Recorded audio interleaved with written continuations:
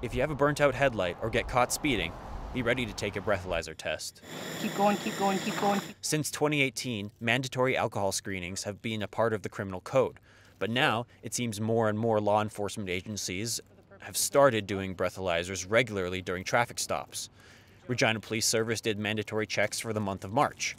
And now, the RCMP says it will be checking for impaired drivers on all traffic stops. For us in Saskatchewan, and my role is overseeing traffic services and CTSS program, is that if we were doing the same as what Alberta was doing and, and get some sort of similar results to that, that what we would end up doing is making roads much safer for the traveling public. Drivers will not be forced to take a breathalyzer or get blood tests.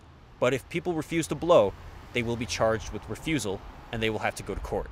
Realistically, investigating impaired driving uh, takes a lot of resources from the police and demands a lot of resources in the court process. And our system just isn't equipped to have police officers spend the amount of time they need to spend conducting these investigations, and then to have the courts spend the amount of time that needs to be spent prosecuting each person who's caught.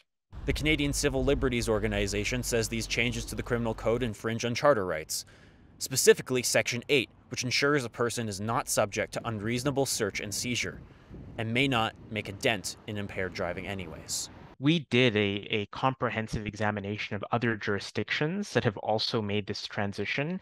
And what we found is that you could not draw the direct conclusion that introducing mandatory breath samples uh, for every stop motorist definitively leads to reduction in impaired driving. The RCMP say its officers will use discretion, but they are supposed to check everyone they pull over.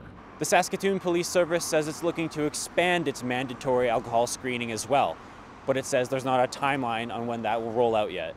Liam O'Connor, CBC News, Saskatoon.